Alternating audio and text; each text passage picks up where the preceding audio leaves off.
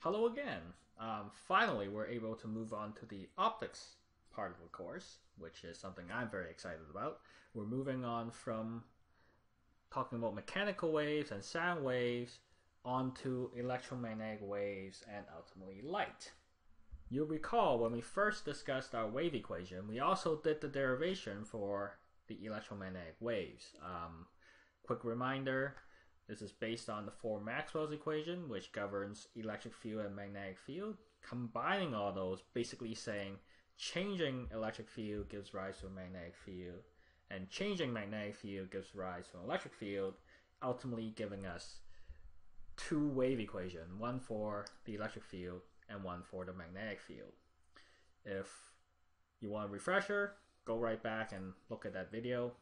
In any case, we once again have the double temporal derivative related to the double spatial derivative. Therefore, wave equation, we know we have traveling waves.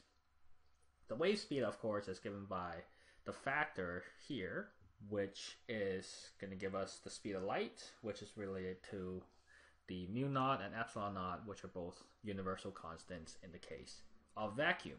So the most common solution we'll look at kind of has the shape as illustrated here. You see that the electric field and the magnetic field are both perpendicular to the direction of propagation as well as perpendicular to each other. The direction of propagation is given by what's known as the Poynting vector. Now, this is Poynting with a Y, it's not a typo. It's due to Mr. Poynting. It's a very interesting choice of last name, but it's good that he was the guy that discovered it because this Poynting vector tells us which way the electromagnetic field is propagating or pointing towards. How you get that is through a cross product. So you have the Poynting vector is equal to the electric field direction cross the magnetic field direction. And therefore, we can use the right hand rule for any cross product. If we stick out our thumb and our palm is on this side, we stick our middle finger, and then we have something like that. Then, if the thumb points in the E and the index finger points with the B, then the Poynting vector is in the S. You can verify that with the diagram here.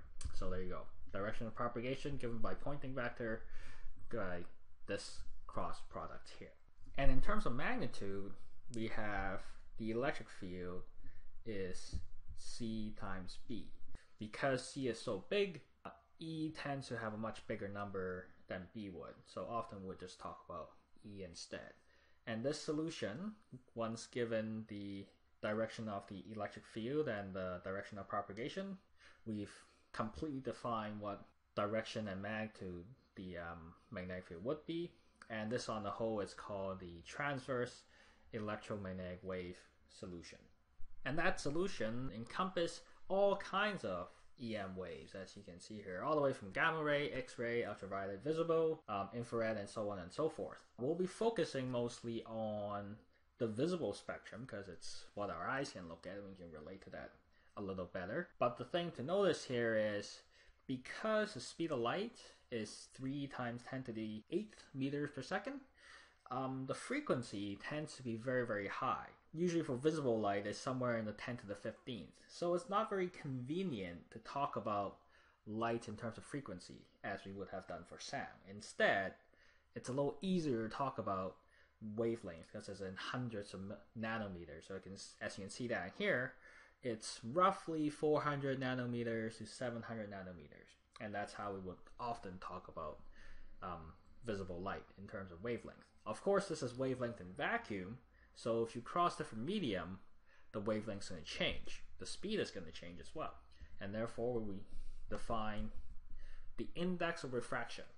The index of refraction tells you in any given medium what is the wave speed in that medium and how is that corrected from your normal speed of light in vacuum, which is here for SC. And this n is typically greater than 1. There are some funny material that even gives you a negative n, but we won't deal with that. We'll stick with normal material that has a um, n of 1. As well, uh, here's some sample typical ones we often tend to use. Uh, in air, the index of refraction is 1.000 something, and so it's very close to the vacuum. So we often take air as just have an n of 1, make things a little simpler. Water, roughly 1.33, and then glass, depending on what type of glass, 1.4, 1.7, but 1.5 is kind of like your ballpark go-to number for glass. That's the index of refraction, which tells you the ratio between the speed in different medium as opposed to in vacuum. And therefore, it also tells you the relation between the wavelength versus the wavelength in vacuum as well, because the frequency stays the same. And then, of course, that's related to the wavelength in vacuum and therefore de facto with air as well.